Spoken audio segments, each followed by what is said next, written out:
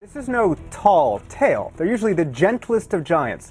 But it turns out there's one giraffe in the South African savannah who's willing to stick his neck out if you're driving by him in a Jeep. It started as the perfect safari photo op, up close with one of nature's most majestic creatures. So we said, wow, that's nice. We can do pictures. And you know, everybody was so excited.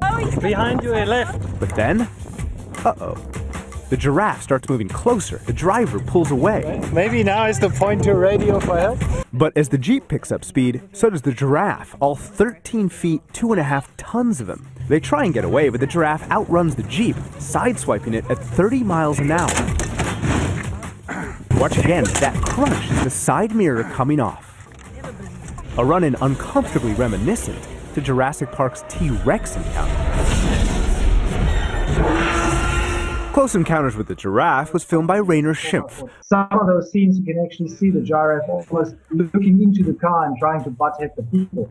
Eventually, they got away. has to be really close to your head, eh? It was very close. And back at camp, Silke Tashinsky inspected the damage. During these safaris, you might worry about being attacked by a lion or a tiger or a bear. Did you ever worry about being attacked by giraffes? They're looking so cute. Never, it was in my mind they could do something like this. That animal just was crazy. Actually, turns out these graceful creatures are often fierce.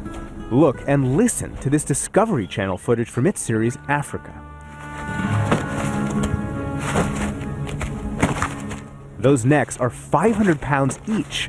This was filmed by Dave Salmon. People tend to think of giraffe as nice, docile, sweet animals, and they, and they generally are.